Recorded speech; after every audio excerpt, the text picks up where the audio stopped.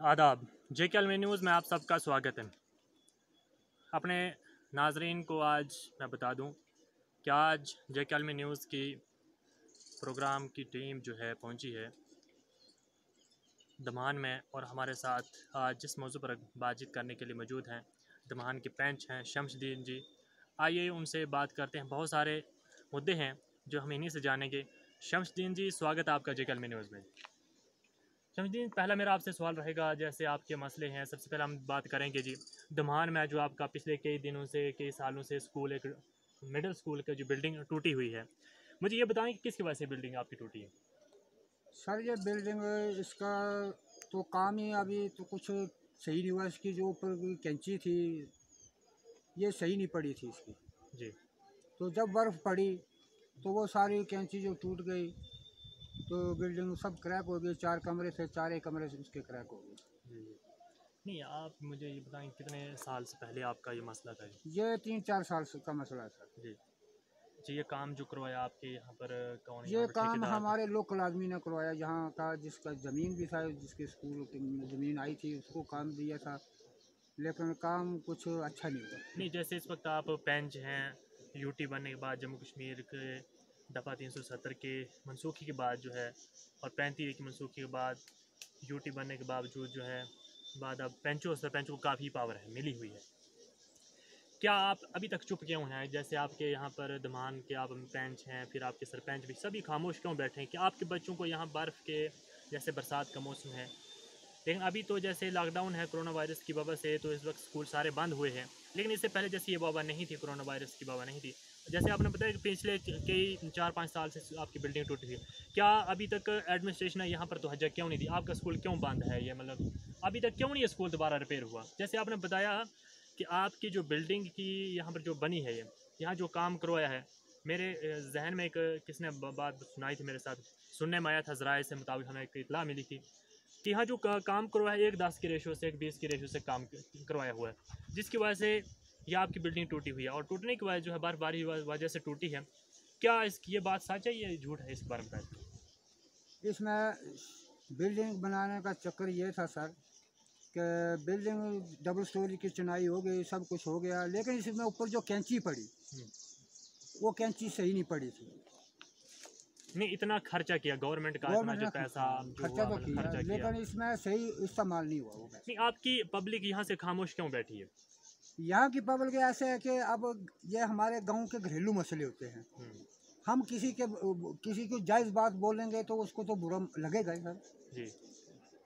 तो यहाँ इसलिए ये- आपका ये जो मिडिल स्कूल है यहाँ पर। हाँ मिडिल स्कूल है सर। लेकिन मिडिल स्कूल होने के बावजूद जो है कितने बच्चों की तादाद कितने बच्चों का? यहाँ ये इस वक्त तो सत्तर अस्सी बच्चे हैं सर स्कूल मिडिल स्कूल में सत्तर बच्चों की हाँ, तादाद है। हाँ। स्टाफ की अगर हम बात करें स्टाफ कितना है? स्टाफ यहाँ ये चार टीचर हैं सर। चार टीचर हैं। जैसे आप किन कौन से वार्ड के आप पेंच हैं? मैं सर वार्ड नंबर तीन का पेंच हूँ। आपके वार्ड में जैसे आपने स्कूल की बात तो की है कि नहीं बना है क्या आपके जो पेंच हैं पब्लिक है सरपंच है इससे पहले जो लोग थे आपकी इलेक्शन किसी के जीतने से पहले जो लोग थे जैसे पहले जो पेंच थे सरपंच थे क्या उससे पहले उस वक्त भी ये बिल्डिंग टूटी हुई थी कि आपके पेंच और सरपंच बनने के बाद टूटी है? कब टूटी ये पहले जब हमारी इलेक्शन हुई। उससे पहले टूटी हुई दो हज़ार अठारह में जब इलेक्शन हुई है पंचायत का उससे पहले ही टूटी। यानी आज इतने साल हो गए टूटे हुए तीन जैसे आपने बताया तीन चार पाँच साल हो गए। अभी तक आप खामोश क्यों बैठे हैं? आप एडमिनिस्ट्रेशन के पास क्यों नहीं जाते हैं? क्यों नहीं गए इस मसले एक दो बार हम एडमिनिस्ट्रेशन के पास क्या उन्होंने क्या कहा इस मसले उन्होंने कहा कि भाई हमने दे दिया आगे इसका प्रपोजल जो दे दिया। अभी दो तीन साल से अभी कोई इसका कोई जवाब नहीं आया। क्या है क्या नहीं बनेगा ना बनेगा? नहीं जैसे मैं आपको देख रहा हूँ जैसे मेरी पब्लिक से आपके लोगों से बातचीत हो रही है जैसे हुई भी है और होती भी है। जैसे आपके लोग काफ़ी नाराज़ हैं और इल्ज़ाम आपके ऊपर लगा रहे हैं पंच और सरपंचों के ऊपर। और ये वो ये कहते हैं कि हमने पंच और सरपंच को जिताया हुआ अपने कीमती वोटों से उनको मुंतखब किया है जिताया हुआ है। लेकिन आगे सरपंच और पंच चुप क्यों बैठे हैं? क्या मसला है? लोगों की बात तो सही है।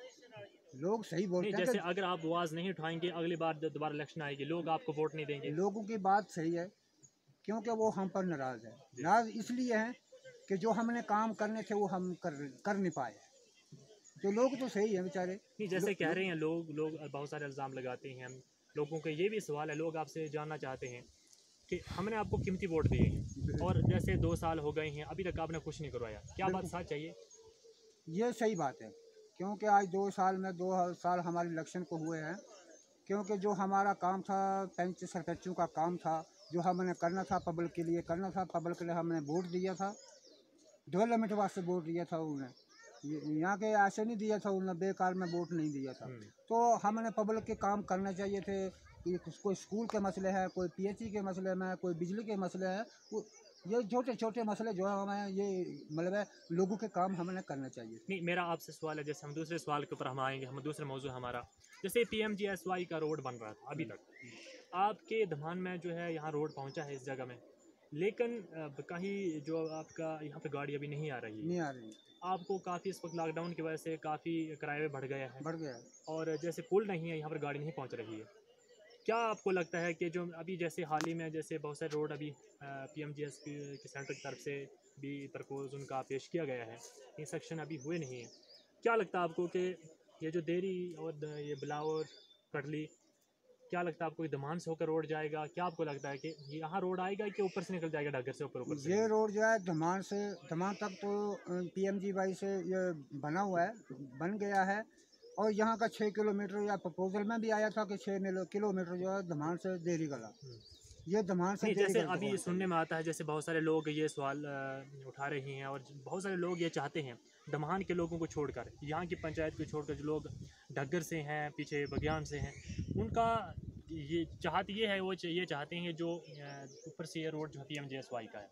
ये देरी गला को टच करता है ये सीधा दमहान को छोड़ के दमहान के लिए लिंक रोड होना चाहिए। क्या ये बात आप इस बात से मुतफिक हैं? हम इस बात से मुतफिक नहीं हैं। जी क्या चाहते हैं आप ये हम तो ये चाहते हैं कि धमान से देरी गला रोड जाना चाहिए। जी।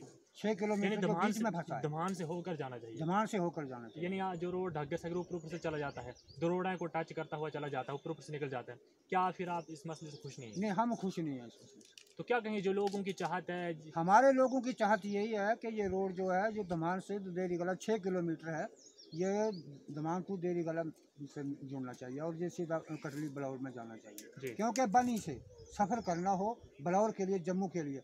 अगर बनी से लोग सीधा जम्मू बाया बसोली होके जाएँगे तो उनको सौ किलोमीटर का सफ़र जो है एक्स्ट्रा पड़ता है। और ये जो ये रोड जो है बनी से कटली के लिए बलौर के लिए जुड़ेगा बाया दमान होके ये सर ये सौ किलोमीटर का फ़र्क पड़ता है ये नज़दीक हमें रोड रहता है आखिर में मेरा आपसे सवाल है हम